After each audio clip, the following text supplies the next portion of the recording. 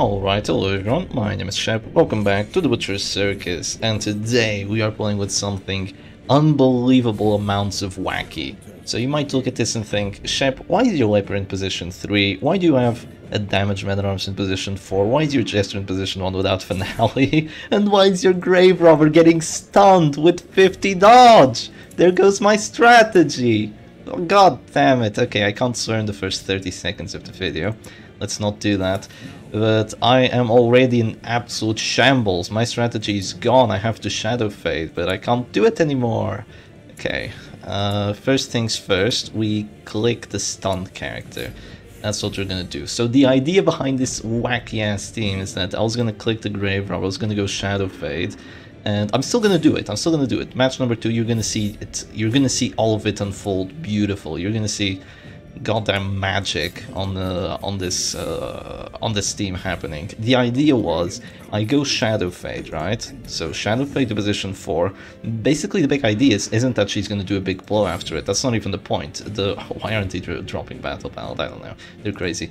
The big idea is that after the Shadow Fade, I drop a command to give myself accuracy and then with Eagle Eye Talisman and the Sharpening Stone, I apply a bleed on the frontline character with a big hit, and then with the Blood Red Coin, I make synergy of that bleed, and I have plus 40% damage, and I just drop a finale, bam! That's one kill, and then after that we just do a lunge, and that's two characters basically at, uh, uh, that's two characters basically, well, one dead and one at 0 HP, so that's kind of the idea behind this team. And then I also have Retribution. The reason I have the Men-at-Arms in the back is to drop the command, that's literally it, because I can't drop it from the front. I have 50 dodge! Stop doing this! You have 96 accuracy! What are you doing? Where is the justice in this world? Please do not hit that. Okay.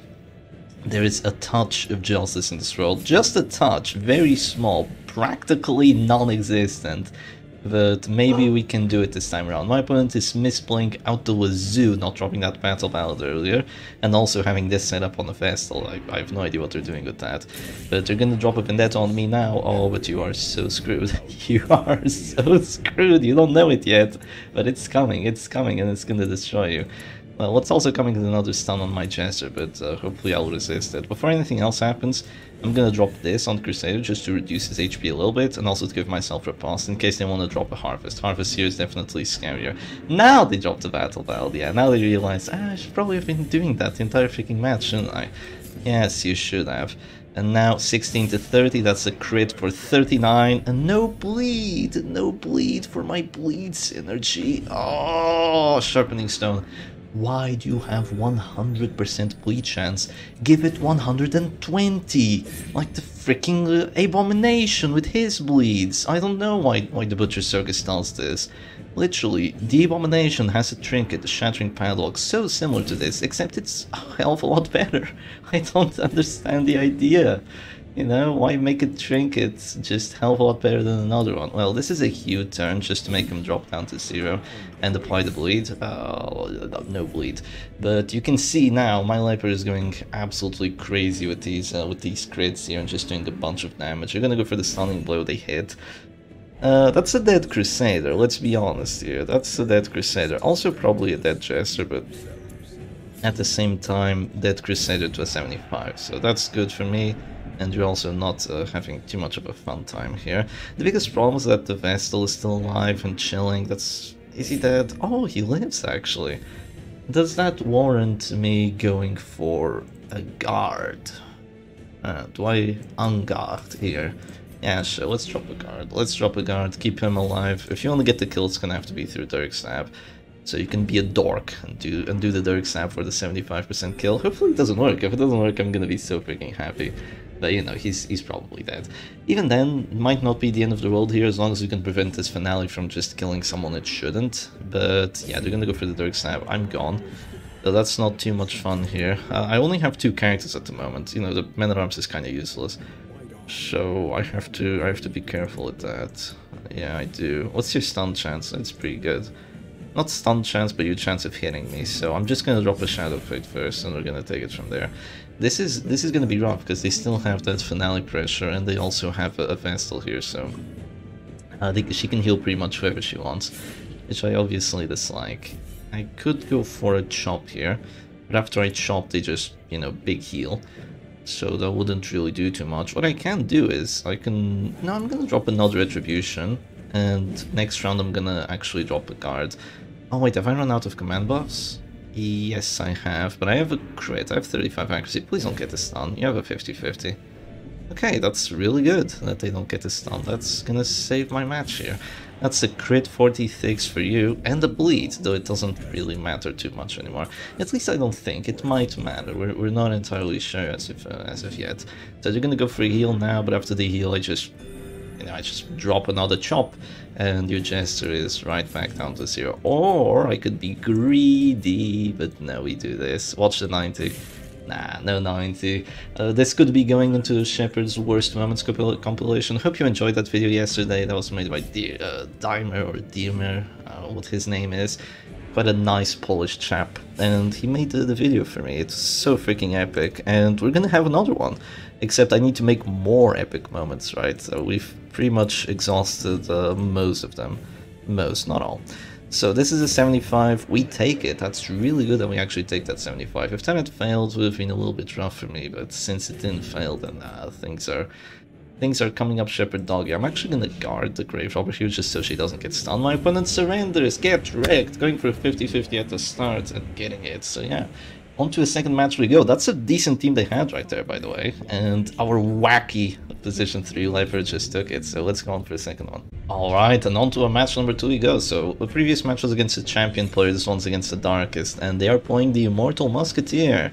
I see how it is, just good old Immortal Musketeer, full-on normal setup, nothing special here. Okay, let's let's do this then.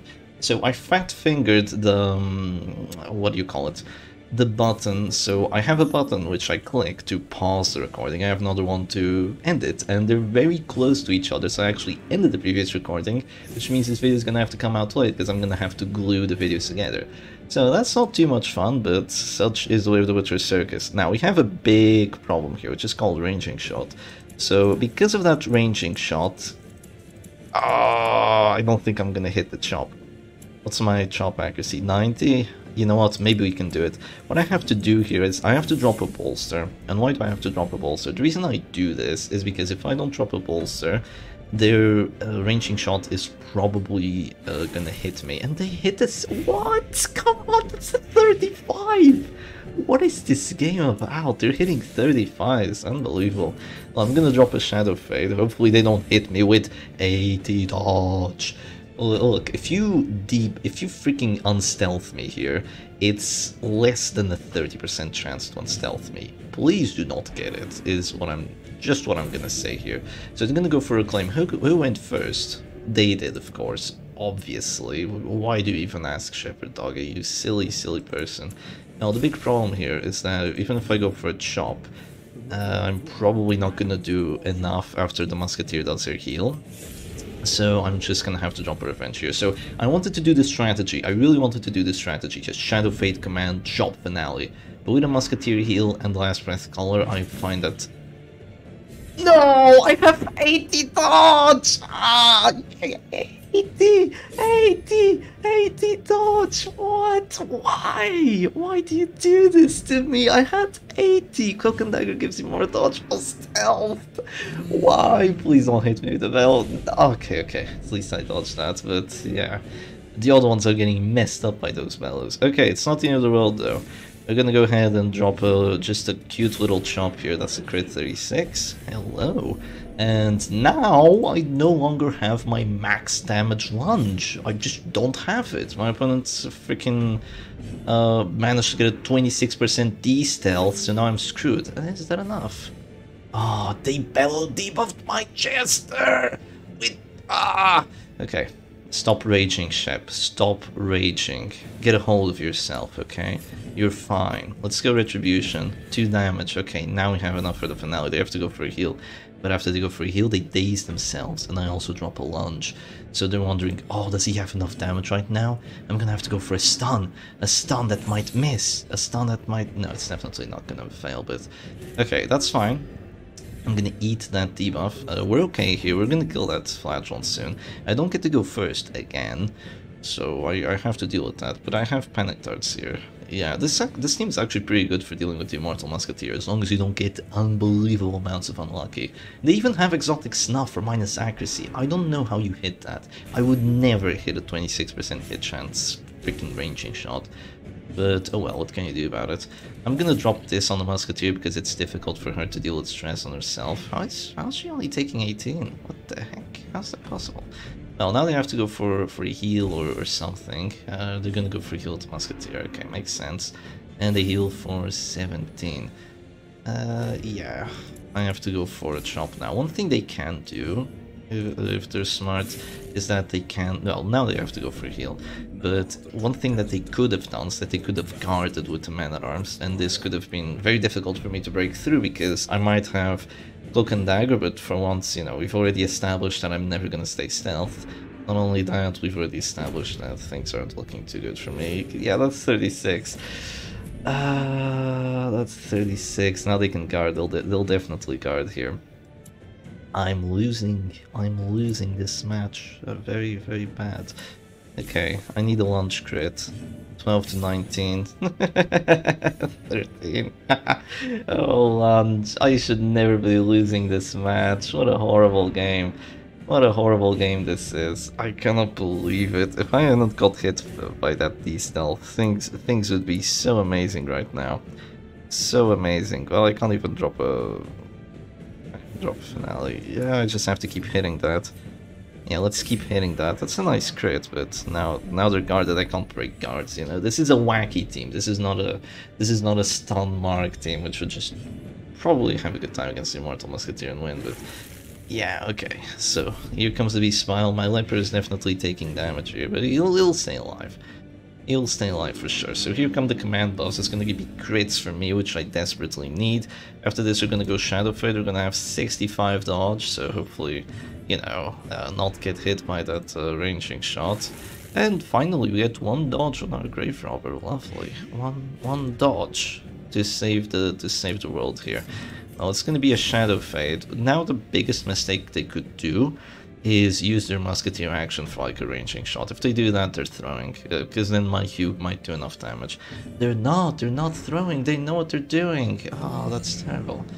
Okay, they know what they're doing. Well, in that case, I have to... Um, they're dropping down to zero, actually, that's pretty good for me. Uh, I'm gonna drop another Retribution here. So let's drop a Retribution on you, because I don't want to get hit by a crit. That's actually really good, that means more accuracy and less stress taken by me. But uh, if I don't get a kill, that's not gonna matter, you know. I need to get a kill. I must get the kill. So they do 17. There's no world where I do 17 damage. Unless, nah, there's no world where I do 17. I do a decent amount, but you know, it's no 17, that's for sure. You're gonna lose your daze as well, so that's gonna be rough. I probably do 7 damage though, uh, even through the guard. So they're gonna suffer, that's gonna give them death blow resistance, that's smart. Uh, smart play by them to do that. And I'm just gonna Dirk Stab for 5, of course. of course, those Veledivos are very annoying. They're not, they're not even at that store now, so they don't have to worry about anything. They don't have to worry about lunch. Ah, I love the Butcher Circus. I really do. I really, really do. Okay, they're gonna go for a stun on me. Oh no, they're gonna go Beast Mounted Riposte. Kind of crazy, but I only do 9 somehow. And now I have a few options, right? And now I have a few options, so... Car Finale, Hmm. I'm gonna have to kill someone else. But that's easier said than done. I might click here and just and just heal. Maybe wait it out a bit. Okay, let's do that. Let's click here and heal. We're gonna wait it out a bit. Hopefully crit 44. No, that's no crit 44. Well, that's sad, but such is the way of the Butcher Circus. Is that actually 22 damage? I'm not sure if that's 22 damage, if 18 goes up to 22, probably should have checked. So they just defend her here. One thing I'm thinking of is Panic Darts on her, that could potentially work. But I'm not going to do that just yet, I'm going to click here, I'm going to drop a command buff, give myself more accuracy. And more crits, which is good, very very good. And let's see what they want to do now. Maybe they go for a preemptive heal. If they go for a preemptive heal, I might just go lunge on the Abomination and finale him. I I definitely have enough damage considering he's bleeding. He, he, he did that to himself, he got himself bleeding. Yeah, they go for a preemptive heal. Well, in that case, they have minus healing skills. Yeah, we can kill the A-bomb here. That's pretty much a guarantee. 25 to 30, and he's dead. Even if they heal here, I just drop a finale, and he's uh, he's definitely dead. So they misplayed not going uh, going for that preemptive heal. I feel like they didn't have to do that. They could have taken a risk, or they could have just clicked the redeem instead, or gone for an Hexagonite, because they would drop the Death Star, right? They could have probably taken a risk. They can drop a redeem, but unless it's a crit heal, there's there's no way they save themselves. I have a finale here with, look, look at the damage I have, plus 40 and 3 buffs, it's 16 to 29, there's no way you save that. And that's your character gone, which is really not what you want when you're playing the Immortal Musketeer, you don't want to lose a character. If you lose a character, you're, you're having a really bad time. But maybe they can still win this, I don't know. Maybe they can still win, we're, we're not entirely sure here. I have a Repulse Man at so that's definitely gonna come in clutch, but no, they surrender. And that's GG's, that's two wins for the wacky the wacky position 3 Leper, so I would play more, but this video is really going to be super freaking late, and if I play more, it's going to be even later, and then y'all are not going to enjoy it. So yeah, I hope y'all enjoyed today's video. I'll definitely play with this team again. I'm going to call it the... Um, uh, let's call it the wacky leper. Let's call it the wacky leper because I feel like it works. it's wacky, but it works, right? I'm one against two teams that are definitely quite decent, two players that are quite good, and it just works. It doesn't have heals. It doesn't really, it doesn't really respect any rules of the Butcher Circus. It has sharpening stone, but it just works. And this is this is really what matters if you're making a team if you can think of an idea and like of a game plan for you to get an early kill, get an advantage after that, even if it's wacky as hell, it can work. So yeah, hope y'all enjoyed today's video and I'll see you again another time. Cheers.